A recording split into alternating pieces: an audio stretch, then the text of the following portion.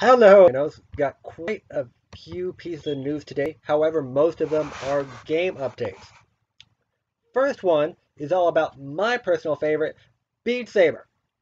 This one is going to be exiting early access here in about a week when all, when the Rift S and the Quest launch. This in this update, we could expect a UI up a UI layout update that will unify the game design across PC VR, PlayStation VR, and all the standalones. One thing we can look forward to in this very, very big update, well, not very big, but there will be an included level editor inside this update. However, the big problem there is that this level editor will only apply to PC versions of it. So the PlayStation VR version is not going to be getting that level editor. However, just the simple fact that we'll be able to see new videos about it on YouTube just makes it that much better. Which means you may not have to use Mod Saber or Beat Mods or whatever it is you're using to make your own custom songs at the moment. However, the big caveat there is that the price is going to be going up by $10 up to 30 So, price is going up 20 to 30 on Steam or the Oculus Store. Obviously, you can already find it for 30 on on PlayStation VR, but you know, who cares?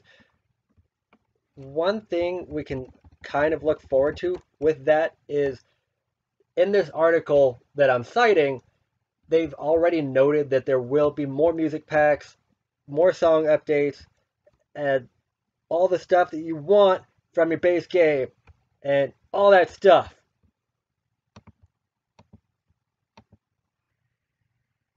Woohoo! Next big story is all about Moss, everybody else's favorite game. So there's supposed to be a free update you can also expect here in about a week on the 21st it's going to be a timed exclusive for the Quest, but you can expect it to be hitting all the other virtual reality systems later on in June. Okay, so big thing about this. It's story, content, puzzles, enemies, blah, blah, blah. While not directly a sequel, you can find access to that through portals that you can access at many points throughout the main game. That being said, the developers have stated that they are in fact working on book two of Moss. So if you're hungry for something a little bit deeper than maybe a single chapter of a book, you could find an entire novel later on. While there is no exact release date scheduled for that, you can rest assured knowing that it is in fact coming.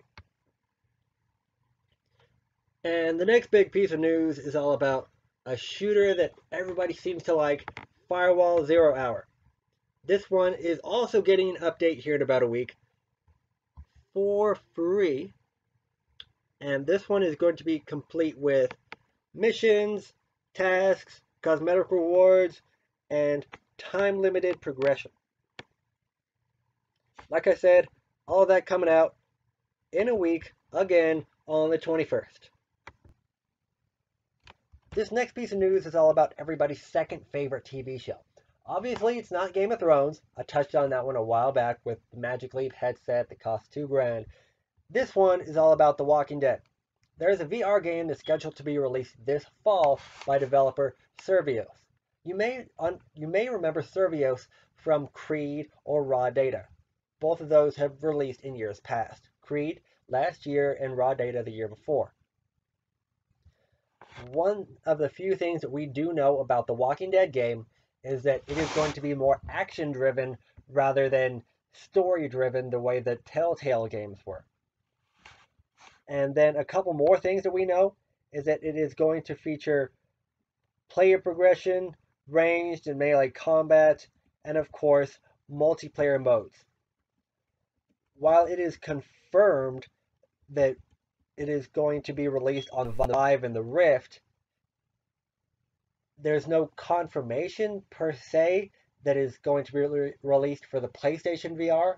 However, because of their willingness to work with the PSVR in the past, it stands to reason that it will also come to the PlayStation VR as well. So mark your calendars this fall 2019. I, I recognize it's a big window to go through, but it's not next week. So you have some time to save some money.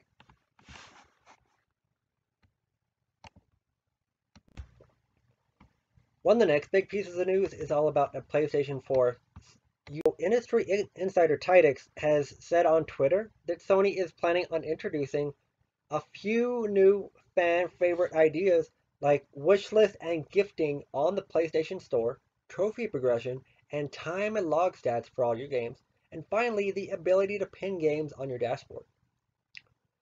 So obviously you'd be able to send your best friend Tyler over there brand new copy of Red Dead, and then he can call you a failure for for still playing the game for 400 hours and not being able to complete the main story, or for not maxing out your horse.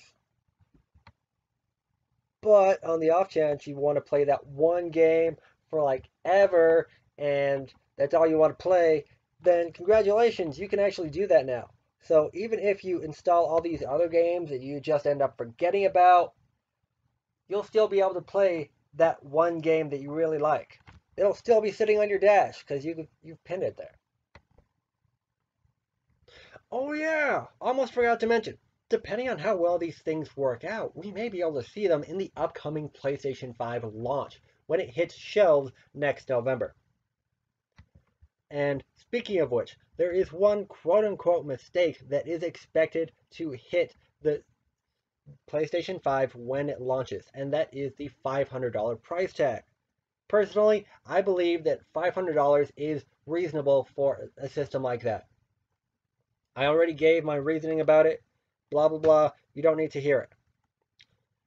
The reason it's considered a mistake is that Microsoft and Nintendo are both expected to launch a more quote unquote budget friendly system, with Microsoft launching the Xbox Lockhart and Nintendo launching the Switch Lite.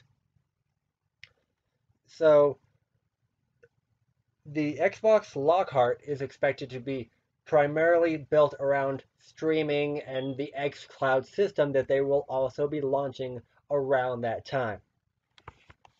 Whereas the Nintendo Switch Lite is going to be non-detachable and primarily handheld but they'll have small abilities to connect to the TV, but it, it won't use the same docking, docking system that it uses at the moment. The biggest